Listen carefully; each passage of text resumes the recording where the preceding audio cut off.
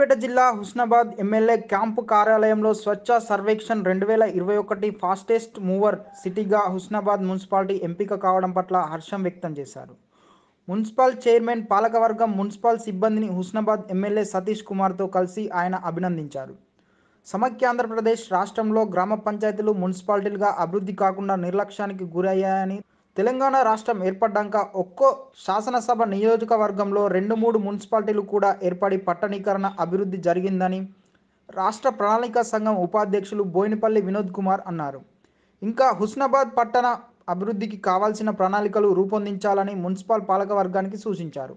తెలంగాణ రాష్ట్రం వచ్చిన తర్వాత గౌరవ ముఖ్యమంత్రి కల్వకుంట్ల చంద్రశేఖరరావు గారు వారి నాయకత్వాన ఉన్నటువంటి రాష్ట్ర మంత్రివర్గము. ఈరోజు చిన్న చిన్న పట్టణాలుగా ఎదుగుతున్నటువంటి గ్రామ పంచాయతీలని మున్సిపాలిటీస్గా చేస్తేనే ఇవి ప్లానింగ్ బాగా ఉంటుంది. తెలంగాణలో దాదాపు నూట నలభై మున్సిపాలిటీస్ మున్సిపల్ కార్పొరేషన్స్ ఏర్పాటు చేయడం జరిగింది. తెలంగాణ వచ్చిన తర్వాత చాలా శాసనసభ నియోజకవర్గాల హెడ్ క్వార్టర్స్ అన్నీ కూడా మున్సిపాలిటీస్ అయిపోయినాయి. శాసనసభ నియోజకవర్గ హెడ్ క్వార్టర్స్ అన్నీ కూడా దాదాపు మున్సిపాలిటీస్ అయి ఒక్కొక్క శాసనసభ నియోజకవర్గంలో రెండు మూడు మున్సిపాలిటీస్ ఇది తెలంగాణ రాష్ట్రం వచ్చిన తర్వాత పట్టణీకరణలో కూడా ఒక గొప్ప మార్పు ఇది.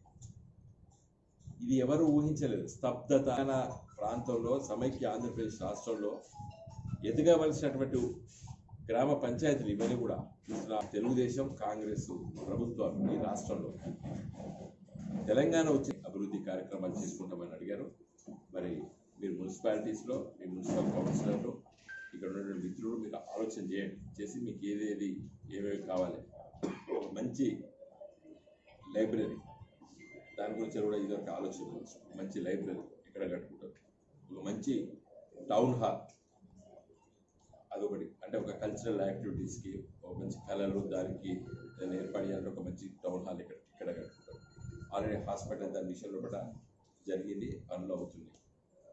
కాబట్టి మన గౌరవ ముఖ్యమంత్రి గారు ఈ రానున్న రోజుల్లో కూడా గ్రామీణ ప్రాంతాల్లో కూడా వ్యవసాయమే కాదు వ్యవసాయానికి తోడుగా పాడి పంట ఉండాలని చెప్పి కూడా ఆలోచన చేస్తాం హుస్నాబాద్ చుట్టుపక్కల చాలా గ్రామాలని.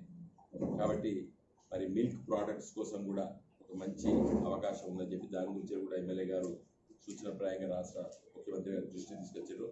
ఒక మంచి మరి పాల కేంద్రం కూడా స్టార్ట్ చేయాలని చెప్పి కూడా ఎందుకంటే అక్కన పెట్టాలంటే మండలాలు కూడా